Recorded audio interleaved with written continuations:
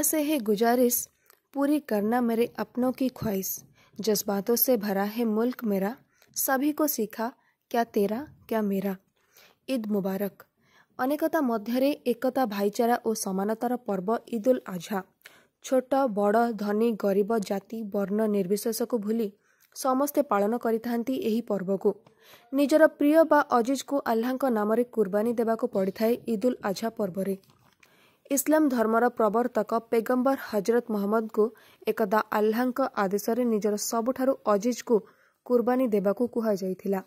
ହଜରତ ମହମ୍ମଦ ନିଜର ପ୍ରିୟ ପୁତ୍ର ଇସଲାମକୁ ଆହ୍ଲାଙ୍କ ଉଦ୍ଦେଶ୍ୟରେ କୁର୍ବାନ କରିବାକୁ ପଛାଇ ନଥିଲେ। ମାତ୍ର ଆହ୍ଲା ହଜରତ ମହମ୍ମଦଙ୍କ ପୁତ୍ର ବଦଳରେ ଏକ ଛେଳି ବା ବକ୍ରିର କୁର୍ବାନୀ ନେଇଥିଲେ।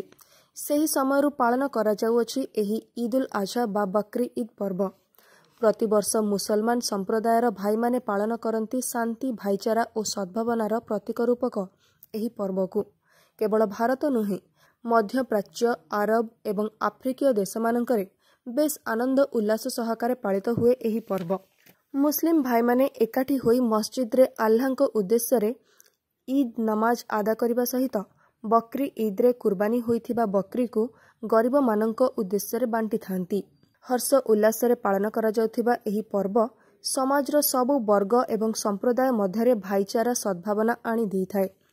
ଏହି ପର୍ବରେ ପରସ୍ପରକୁ ଇଦ୍ ମୁବାରକର ବାର୍ତ୍ତା ଦେବା ସହ ସମସ୍ତେ ସୁଖ ଓ ସୌହାର୍ଦ୍ଦ୍ୟପୂର୍ଣ୍ଣ ପରିବେଶରେ ରହିବା ପାଇଁ ଆହ୍ଲାଙ୍କ ନିକଟରେ କାମନା କରିଥାନ୍ତି।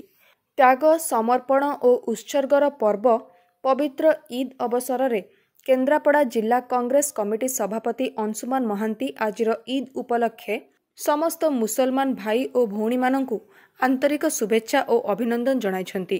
କୋରୋନା ମହାମାରୀର କଠିନ ସମୟରେ କୋଭିଡ୍ ନିୟମାବଳୀ ଅନୁପାଳନ ପୂର୍ବକ ଏହି ପର୍ବ ପାଳନ କରିବାକୁ ସେ ସମସ୍ତଙ୍କୁ ନିବେଦନ କରିଛନ୍ତି।